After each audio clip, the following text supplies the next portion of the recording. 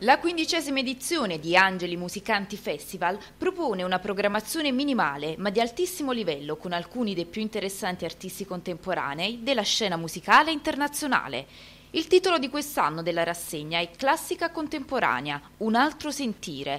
Per la prima volta Angeli Musicanti si svolgerà al Teatro Mercadante, a voler dimostrare lo sdoganamento possibile della musica jazz classica contemporanea anche in altre atmosfere, come spiega il direttore artistico Paolo Uva. Un cambio location, diciamo che nostra, eh, le nostre passate edizioni fatte al Teatro di San Carlo hanno avuto il giusto clamore che hanno avuto, il giusto senso che hanno avuto e molto probabilmente si può fare musica classica anche fuori dal Teatro di San Carlo, considerando che anche il Teatro di San Carlo fa musica non classica, quindi diciamo questa trasmutazione di possibilità è una cosa molto evolutiva, soprattutto per Napoli. Ci saranno delle possibilità eh, visive e uditive da parte del pubblico che potranno interagire in un concerto doppio dove praticamente c'è. Mh, il ripescaggio e il rivisitare degli antichi eh, autori che hanno fatto la storia della musica.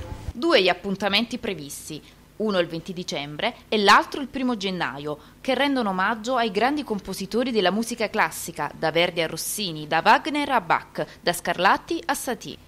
Il musicista Vito Ranucci, in trio con Federica Mazzocchi e Mauro Smith, si esibirà in Killing the Classics. Un concerto che abbiamo già presentato ad Amsterdam, a Berlino, mm, tra un po' andremo a Parigi, siamo molto felici di essere qui e di poter fare questa cosa nella nostra città, Napoli, attraverso diciamo, mille anni di storia di musica eh, attraverso mh, delle coordinate insomma, elettroniche post contemporanee, insomma, quindi una cosa un po' tra sperimentale, eh, classica e musica commerciale.